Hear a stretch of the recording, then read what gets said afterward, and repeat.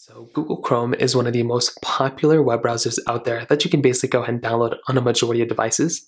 And I'll go and show you a quick beginner's introduction on exactly how to use this particular web browser.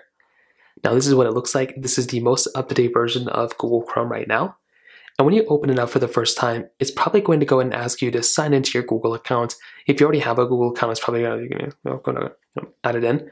But that is essentially the very first thing to do, is to go ahead and basically just log into your account and this is kind of what the splash screen kind of looks like.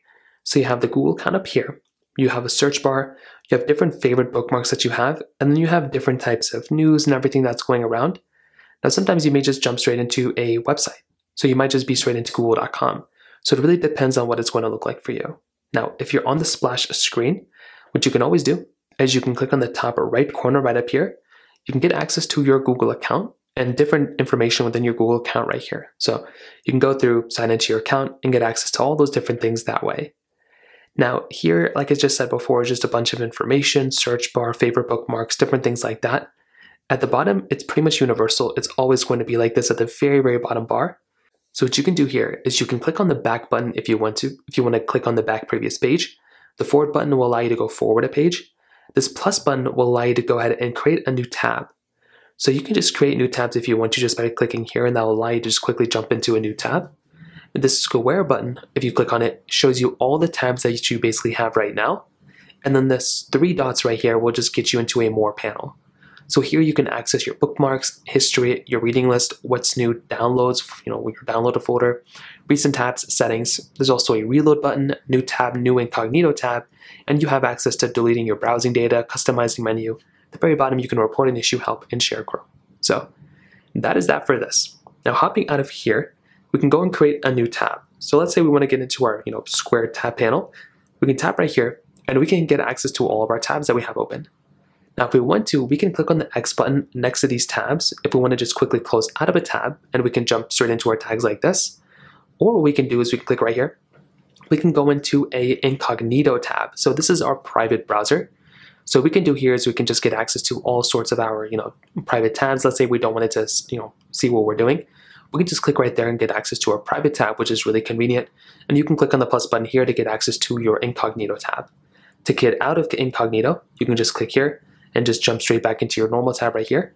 Now this computer icon with a phone icon above it is just your share tabs from other devices. So if you have tabs open in other devices, you can see those tabs open right here, which is actually really cool. You can click on show full history to see all of it, and you have that option right here to basically see everything like that too, which is genuinely very awesome. Now if we come back to our normal tab, and if we tab right here, at the very top, you'll have a search bar. You can tap on the search bar right here if you want to load up any website.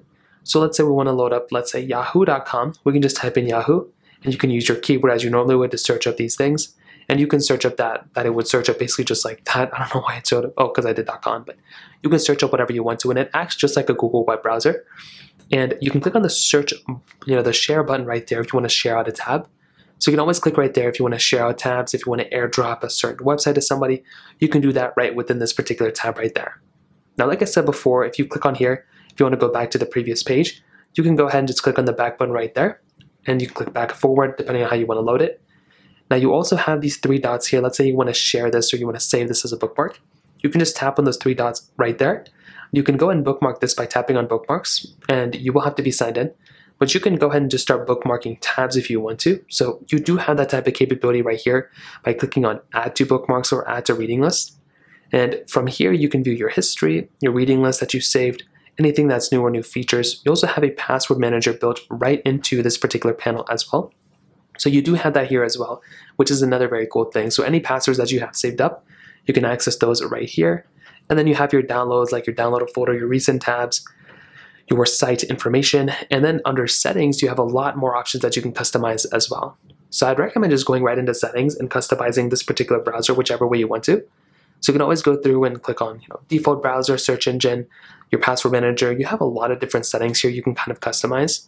So like I said, I'd recommend just going through here and just customizing all these particular panels because it is actually very nice and very convenient to basically go through and just customize those things as you basically can as at this point. So at the core, that's kind of how you use Google Chrome. It's a fairly basic browser, doesn't really take too much time, and it's a very, very basic type of browser to go ahead and use. So that kind of covers it up here. If you have any other thoughts or questions, please let me know in the comment section below. Hit the like button, that would mean so much, but definitely hit that subscribe button. More importantly than everything else, I love every single one of you guys. Hopefully I'll catch you guys in the next video. Peace out.